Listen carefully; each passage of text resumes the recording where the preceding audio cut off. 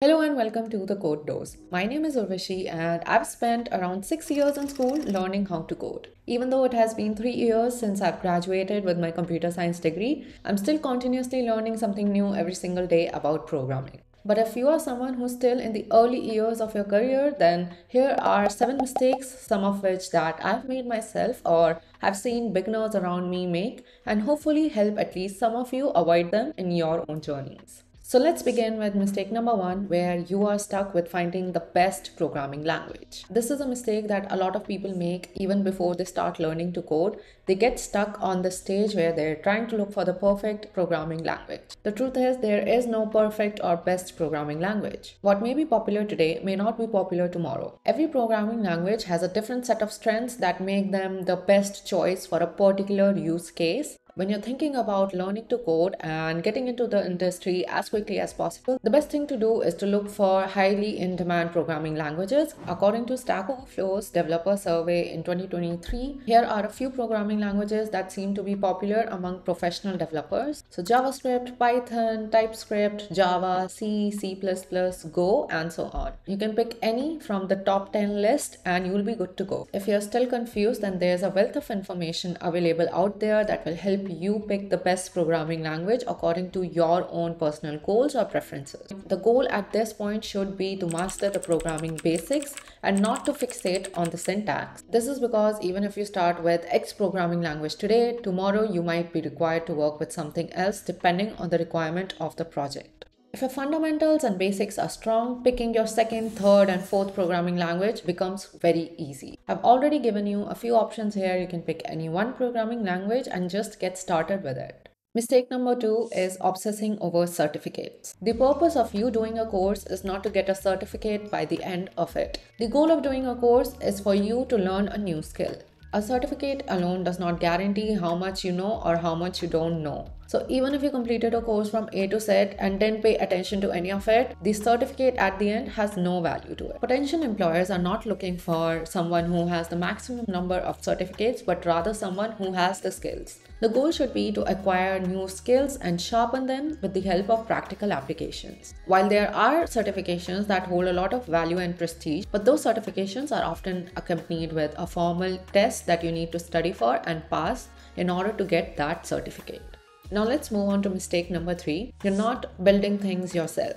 When someone tells you to build projects, what they're trying to say is to build something on your own. Building projects doesn't mean that you open up a new YouTube tutorial, copied and pasted the project, and called it a day. Imagine this when you first learn how to drive a car, there's usually someone who already knows how to drive and they accompany you on your first few rides. But you don't truly get comfortable with the idea of driving until you keep practicing it every single day till you reach a day where you don't need anyone to accompany you. It's the same with learning to code. Initially, you'll need someone to tell you how to do those things, but eventually, your goal should be to be able to do them yourself. Making mistakes while driving is something that might lead to higher consequences, whereas making mistakes in coding does not really have those consequences at all. You can make as many mistakes as you want while learning to code, in the long run, this is what builds experience. Mistake number four is learning only for interviewing. While interviewing is a skill in itself, your core technical skills should not be capped till what is asked in interviews. Trying to become a better programmer is what should be your priority instead of trying to become the best at interviewing. Interviews may be a short term win, but your core technical expertise is the thing that is going to carry you forward throughout your long term future.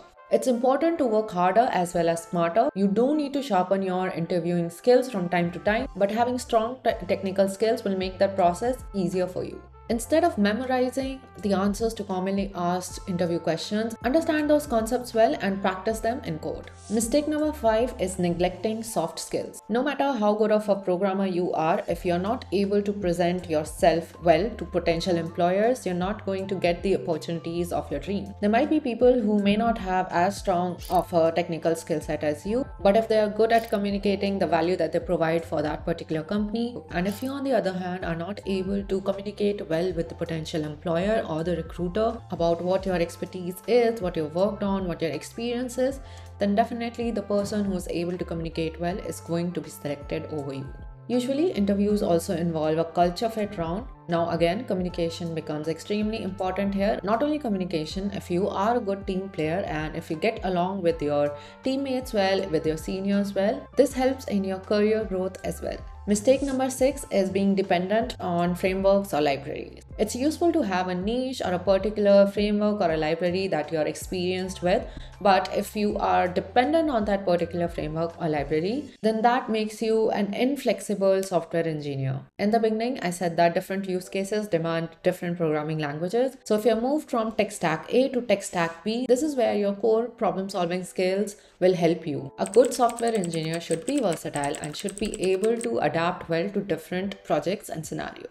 And lastly, mistake number seven is depending on one single resource for all your learning requirements. You might have a favorite trainer and you might enjoy watching their content more than someone else's. But if you're going to be dependent on that particular person to teach you everything, then you're going to be missing out on a lot. It's important to utilize different resources while learning because what resource A might miss out on explaining, resource B might help you fill those gaps in. Learn from different resources like the documentation, books, blog posts, or videos to form a more complete understanding on your concepts. And again, make sure to test your learnings with the help of practical projects. Well, these are the seven mistakes that often new programmers make. Let me know if I missed out on something, and I'll see you in the next video.